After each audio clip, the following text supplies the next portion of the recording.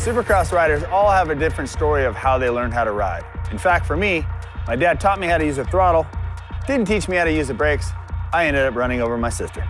But now, more than ever, certified riding coaches are available to help you learn the fundamentals to quickly become a faster and safer rider. I'm Bubba a 450 Supercross racer, team owner, and a USMCA dirt bike coach. We make sure that we got our shoulders down, right? We don't want our shoulders up into our ears, so we want to drop our shoulders. It'll help with our breathing. It really hit home with Adam. You know, having the correct form creates the correct bike control, and therefore he's able to go a lot faster. Sometimes very advanced riders need to work on very basic skills. But sometimes newer riders are fundamentally sound. So controlling the bike with your legs while you're standing up going slow, so it's just a balance drill and clutch drill. So you don't always have to be the fastest guy to win the competition, right? He started riding. I took him to a, a park in the city. Ever since he hit the dirt, he was hooked. That was it. What do challenges do, Dominic? Make you better. Make you better, that's right. Only if you let them, though.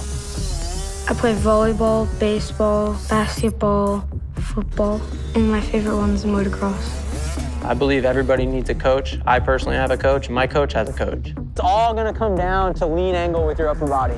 So tipping your head up here is gonna let the bike follow a lot easier. Bubba's program has helped me tremendously. It's pointed out some mistakes I was making and has really helped my form on the bike. We've done hockey, we've done baseball, and once we found motocross, it was just a different look in his eye, different joy, different smile. Your foot was like out here, so we were losing a lot of connection with our with the lower part of our foot in the frame. So if we come here, we can be tighter to the bike, so we can control the bike better, because our legs are stronger than our arms, right? So anything we ever said he wanted to do, if he, he put forth the best effort, we jump all in. He really helps me get into the mood, helps me stay fit, and anytime I can come ride with Bubba, I will. If we're focused on controlling the bike properly, being comfortable on the bike, we can create confidence and we can become a better rider, easier, faster, and safer.